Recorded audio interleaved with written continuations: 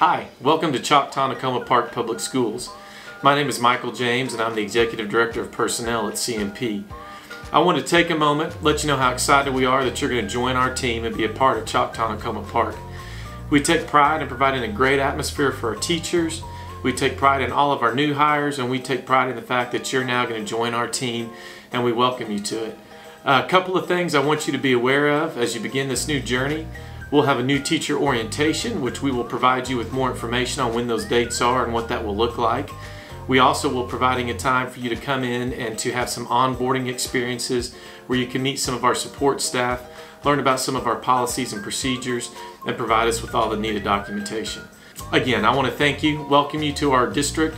My email address is mjames at cnpschools.org. If you have any questions, please don't hesitate to reach out and thank you for being a part of Choctaw Park Public Schools in the upcoming school year.